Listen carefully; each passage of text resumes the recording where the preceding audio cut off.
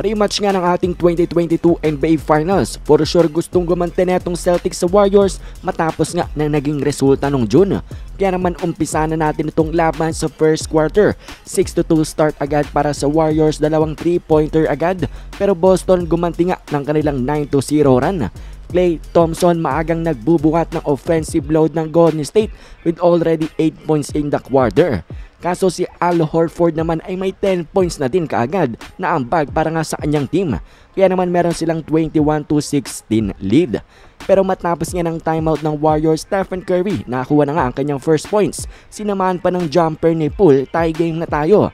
Tapos sabi ni Stephen, di pa nga daw siya tapos, one more 3-pointer. Kaya naman after the first quarter lamang na sila 26 to 25.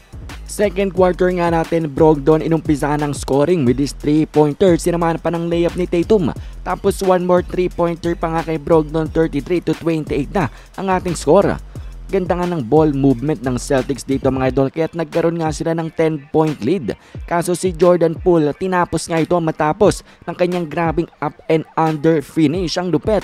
Tumulong pa nga si Clay Thompson mga idol pagpasok niya. Mainit pa nga rin siya at nag-ambag ng 10 straight points. Ginawang tie ang laban with 3 minutes left. Tapos lumamang pa nga sila mga idol matapos ng sidestep 3-pointer neto ni SC30. At sa huling mga minuto nga ay naging back and forth baskets ng ating labanan.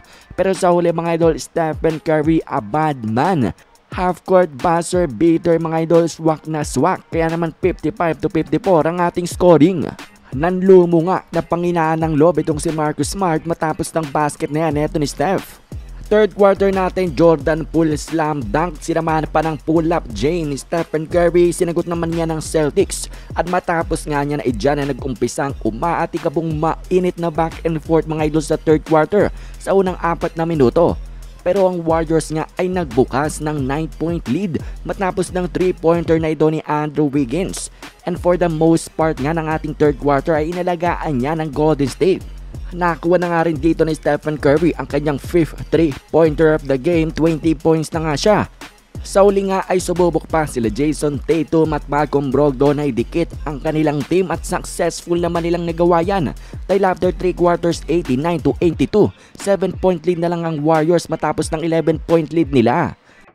Fourth quarter nga, 4 points ng Boston Celtics sinagot ng 6 points ng Golden State. Balik to 9 points ang kanilang kalamangan, 95 to 86 with 9 minutes left. Pero sa 6 minute mark nga ng 4th quarter gumawa ng quick 7 to 0 na ng Celtics. 3 pointer ni Brogdon ang isa dyan 97 to 96 na score with just 4 minutes left. Pero si Draymond may big answer. Big 3 pointer mga idol pang sagot sa run ng Celtics. Last 2 minutes nga mga idol, 2-pointer ng Celtics, sasagutin ng 2-pointer ng Warriors pero with 1 minute and 30 seconds left.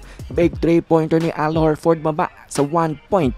At naging tay nga rin ng laban to 106 matapos ng clutch 3-pointer ni Jalen Brown pang sagot sa layup neto ni Curry.